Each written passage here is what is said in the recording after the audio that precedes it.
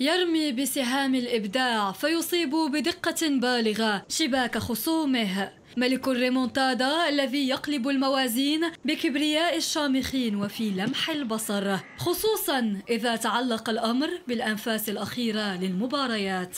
بصدر موشح بشارة الأبطال تمكن ليونيل ميسي قائد منتخب الأرجنتين من رفع رصيده من الأهداف الدولية رفقة الألبيسيليستي إلى 90 هدفا. بعد هدفيه مع الأرجنتين في شباك جامايكا أثناء المباراة الودية التي أقيمت بينهما فجر الأربعاء.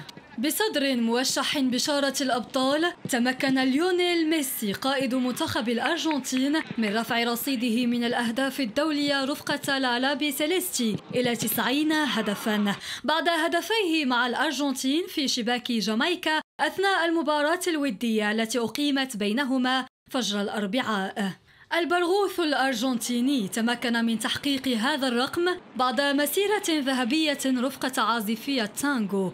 الوصول إلى هذا الإنجاز جاء من بوابة المباراة التي انتهت بفوز كتيبة سكالوني بثلاثية نظيفة أمام جامايكا ليقفز ليونيل ميسي إلى المركز الثالث في قائمة أكثر اللاعبين تسجيلا للأهداف مع المنتخبات الوطنية.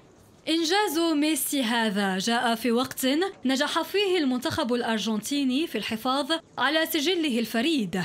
حيث لم يخسر في أي مباراة بعد 35 خاضها على التوالي.